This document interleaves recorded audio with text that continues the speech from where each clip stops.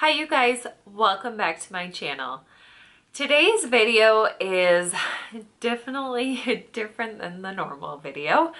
Um, I am going to be sharing an experience that I have personally had. Um, May is Skin Cancer Awareness Month. Um, and for those of you who do not know, um, I was diagnosed with skin cancer last year um, and have had surgery to remove it. I am fortunate to have caught it very early um, and to have had to have a less invasive um, treatment plan than other people have.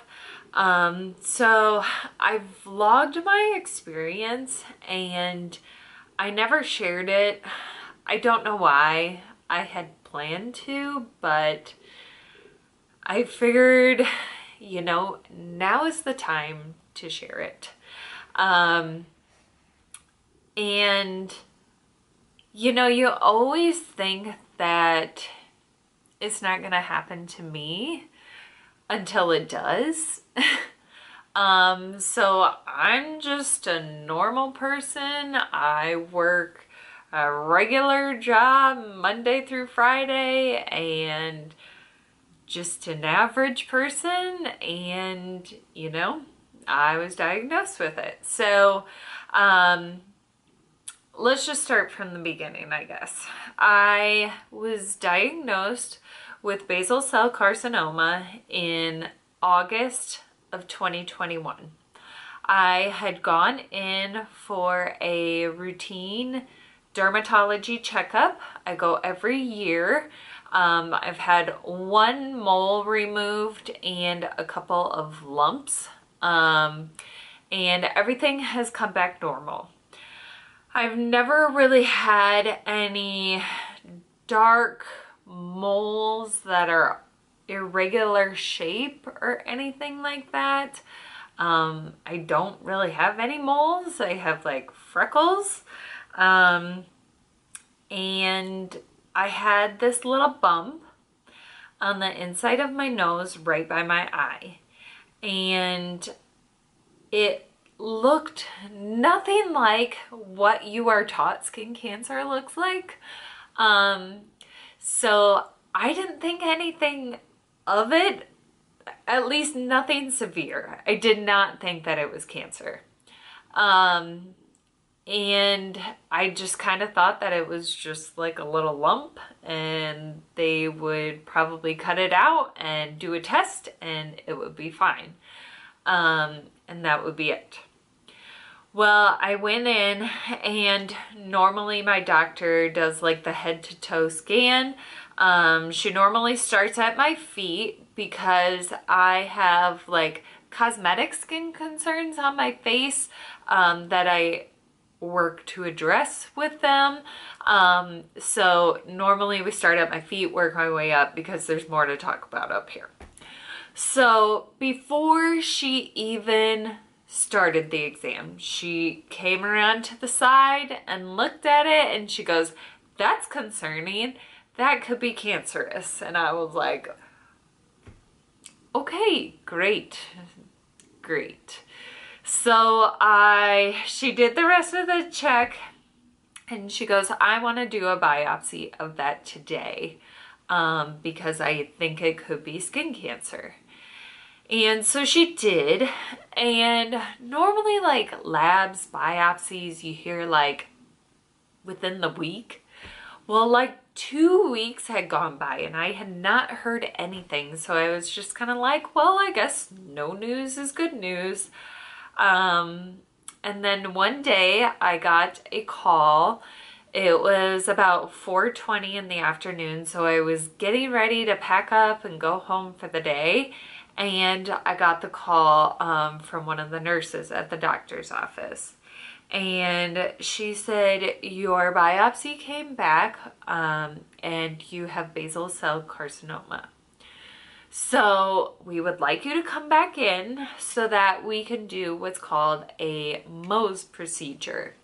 Um, so it is a surgery that you go in for and what they do is they dissect one layer at a time. So they peel off one layer around the area and they take it to the lab and they cut it into quarters and they look at each quadrant separately. Then they find if there's cancer cells in what quadrants they're in and then they come back and they pull from just those quadrants. So the goal is to kind of start like this and funnel down to get just to that one specific spot. Some people aren't as fortunate as I was and they have to, um, you know, kind of close up and then go do a, more of an in-depth surgery to dig deeper. Um, but I was very fortunate in the fact that they came back um, twice and took two different um, additional biopsies and were able to remove the cancer cells um, in those trips. So I was very fortunate.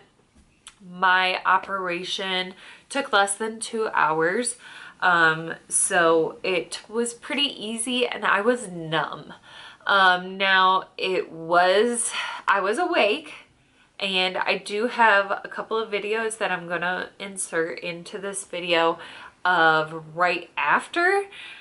I'm not talking in those videos because I was in the doctor's office, so I wasn't like narrating a YouTube video um, was having surgery, but you will see um, what I looked like.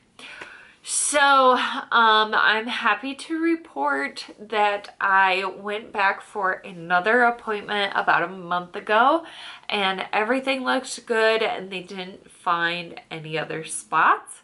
Um, and then I go back again in a couple of months. Um, now I will show you, you can kind of see right here that I still have like it's a little deformed still. The skin is tight. Um, and it's not quite back to where I was. Um, like from far away you can't really tell, but up close it kind of like gives me like a under eye bag and like it's a little overlapping over my eye. Again, very cosmetic thing.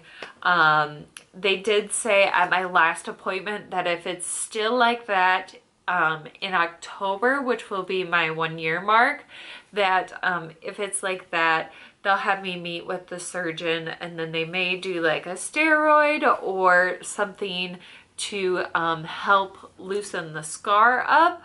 Um, that should relieve some of that um, tight pulling that it's doing. But again, very cosmetic, but I, I told them, I was like, I know it's kind of like superficial to say this, but like I like to like wear makeup and do videos and stuff. So like if we could try to get my skin and my face back to the way it was, that'd be great. If not, whatever, I'm just happy to not have cancer. Um, a little bit of backstory though about me and um, I'm someone who loves being outside. Summer is my favorite season by far. Um, I love being outdoors. I love being active outdoors. I love just laying outside. I love laying in the pool. I love going to the river or lake and being on a boat. I love all those things. I love going to the ocean. Like, I just enjoy being outside. And um, a few years ago, I got really serious about my skin and my skincare. And I became someone who religiously would wear sunscreen. Um, and I still am to this day. Like I keep sunscreen in my car just in case I need it. I have sunscreen in my purse. Like I always have sunscreen. Um, and I always make people around me put sunscreen on. Um, also in the last couple years, I have grown my hat collection. I was not really somebody who wore hats before, I'm still not really a big hat person, but if I know I'm going to be outside for extended periods of the day, I will wear a hat um, and just try to reduce any sun exposure that I have. Um, I, I'm gonna continue to go out in the sun. Like, that's just who I am. It makes me happier. Like, I enjoy it. I'm just going to be a little extra cautious. And that's kind of all I wanted to get across in this video is that it can happen to you. Just take as many preventative steps as you can um, to reduce the percentage that it could be you, the possibility that it could be you. Um, so that's all I wanted to come on here and say. But I did, um, like I said, vlog my recovery. Um, the week before my surgery, I was extremely sick. I thought I had COVID. I tested negative like three times, but I just had an awful, awful cold. So just disclaimer that I sound terrible in those videos, that's why. Um, but yeah, if you guys have any questions, um, I'm definitely not a skin cancer expert or anything, um, but I can speak on behalf of my experience. If you guys have any questions, um, just let me know in the comment section below.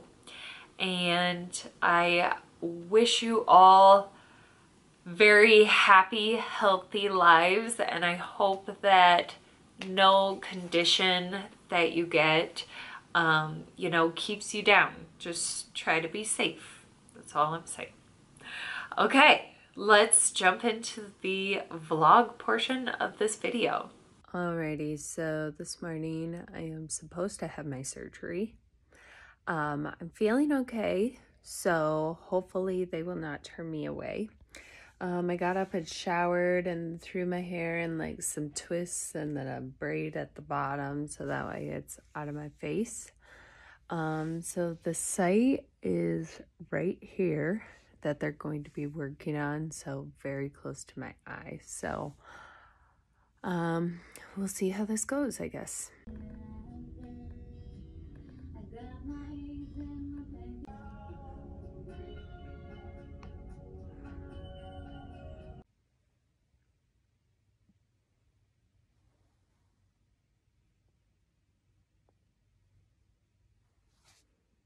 It is day two. Um, I'm doing pretty good. Yesterday, I just had to take one round of ibuprofen and one round of Tylenol um, to just kind of manage any discomfort. and um, yeah, I'm doing okay. I just kind of washed my face. just kind of took like a wet washcloth. But um, you can see I still have some bruising around this eye. And this eyelid is very puffy and heavy, like my upper eyelid. Um, I do normally have a little bit hooded, but not this much. like that is very puffy. Um, so my plan is to try and ice quite a bit today. Um, and then we're going to see how things go on this side, but I might take this bandage off tonight. We will see. But doing okay, um, not much discomfort. It's feeling fine this morning. Um, haven't had to take anything for pain. Um, and we're like 24 hours post-op right now. So this is what we're looking like. We're day three. I took my big bandage off last night. Um, I have some tape marks from it. It took me like a really long time to like calibrate. like when I took it off, this eye could see like perfectly fine. And then this eye was like so blurry. It, it was really weird. I had to like sit down, take a couple minutes to like get myself together. Um, so still quite puffy. Um, I decided to not drive into work this morning Um, but I might try to get a ride later. I don't know. We're just going to see how we feel. Uh, this eye is also still quite puffy. Um, but like I can see out of it just fine. Um, I think I'll show you the incision. I'll take my band-aid off because I have to wash it anyway. So graphic content warning. Um, you will be able to see stitches and the incision and it it's a little deformed. So if that's not for you, you could probably stop watching this video at this point. Here it is. I have like tape marks all over my face, which my skin doesn't normally react to that stuff, but it is now. And I just washed my face, so it's a little bit red, but yep, that's what it looks like. A little bit deformed, but we'll get there. We're on day four, graphic content warning. All right. Looks pretty good today. Like I can open my eyes. um, my bruise is starting to yellow, but actually doesn't look awful today. So um, I just cleaned it. So I'm going to go ahead and put my bandage on it with some Vaseline. And I'm actually going to work and going to put some makeup on today. So show you what it looks like with my lovely bandage on too. I got some makeup on, look a little more presentable. Managed to get friggin' mascara on my band-aid. I mean, it's kind of in the way, but yeah, so that's great.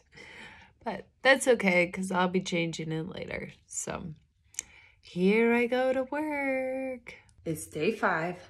My bruise is turning yellow, which I'm actually excited about because I think that will mean that I'm done bruising. Like this is the worst it's gonna get.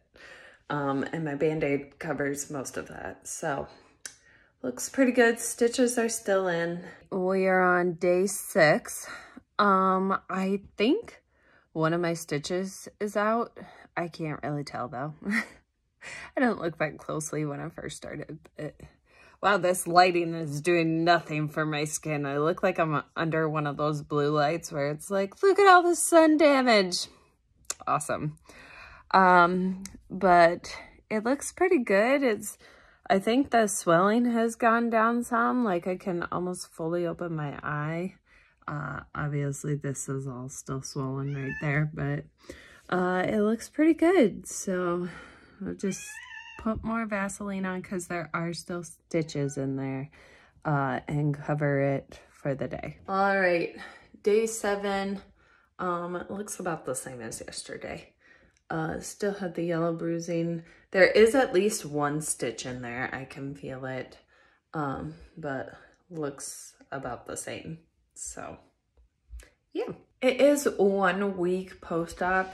Um, I feel like it looks pretty good. Uh, it's still healing. There's still at least one stitch in there. Um, I feel like my face is the most back to normal it has been. Uh, it still looks a little bit funky, but um, it looks pretty good, I think. So it feels fine. So just gonna keep wearing my Band-Aid um, until it heals a little bit more. Okay, we are at day nine, I think. For some reason, I feel like it looks more swollen today uh, than it did yesterday. But the actual like incision itself looks really good. It's like starting to scab over. Um, there is at least one stitch in there. Now I'm thinking there's two left in there.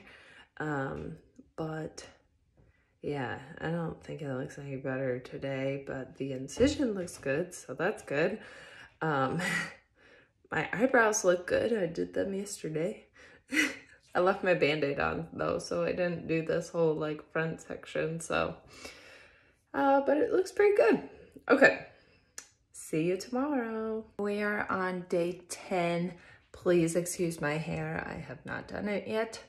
Um, it looks pretty good. I think all the stitches are out. One definitely came out this morning because it was sitting like right here. Um, but still looking a little deformed right here. So it's actually Wednesday. So my plan is to like wear the band-aid the rest of the week and then keep it uncovered this weekend and see how it's looking. Um, but here's what it looks like. It's healing really well, the actual incision.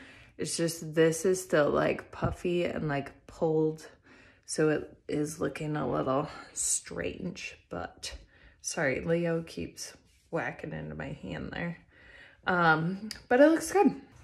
So I forgot to record this morning. So now I am back. It's like 10 o'clock at night. Don't mind the water running. The cat is drinking out of the tub in the background. But, um, so I obviously still have some makeup on from the day. But I just took my band-aid off and the incision looks so good itself. However, I still have that like skin pulled over, like obstructing my eye, like the inner eye is covered from it. Um, so yeah, this is what it's looking like. I think I'm gonna wear the Band-Aid to finish the week. Um, and then probably like this weekend, try to have it uncovered a little bit um, and see how it does. And then maybe have it uncovered for work next week. So we'll see. But this is what it looks like. All right, you guys, it's the next morning. The incision site looks really, really good. Um, I think today is going to be the last day I wear my Band-Aid. So that's good.